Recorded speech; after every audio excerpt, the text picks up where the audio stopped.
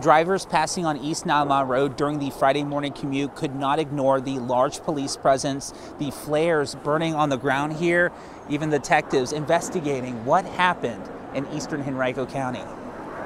A family with tears in their eyes pace back and forth, hugging each other.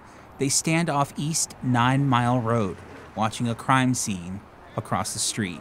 Approximately 5.02 a.m., our 911 center received a call about shots fired in this general area of Nine Mile Road. Henrico police say someone nearby heard gunshots, leading officers inside this business, discovering the bodies of two males.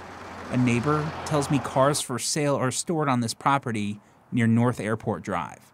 Uh, at this time, our detectives are still working to gather informa information and then evidence as to what unfolded this morning. Detectives have classified this as a double homicide and are asking for any witnesses who have heard seen something to speak up as officers work to identify the victims and a potential shooter. If there is any surveillance cameras um, or even just nearby businesses, homes and whatnot, our detectives will go and request that type of footage and we're asking any community members who may have anything to go ahead and send it our way as well.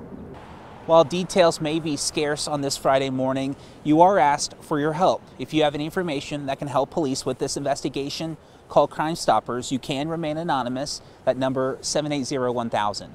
In Henrico County, I'm Brendan King, CBS 6 News.